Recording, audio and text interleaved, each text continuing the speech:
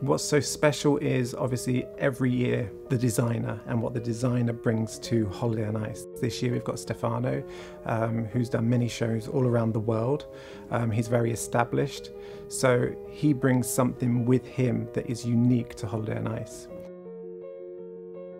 Well, when I get started um, on Holiday on Ice, of course, I started with some personal ideas of what ice skating can be.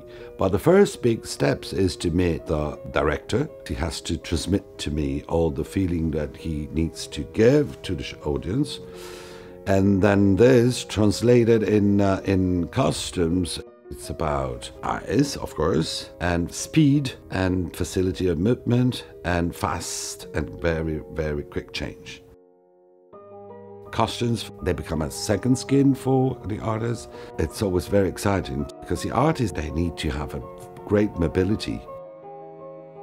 For me, a fitting helps the costume to become the characters on stage. Supernova, I mean, we start off in a very arctic, cold, ethnic world where there's a lot of furs, a lot of jackets, a, lot of robes. It's very much up there.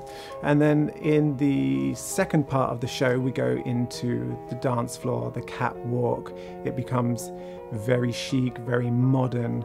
Um, again, feathers, sparkle, glitz. It's very glamorous, which is obviously what Holiday on Ice is known for. It's, it's a trademark of Holiday on Ice.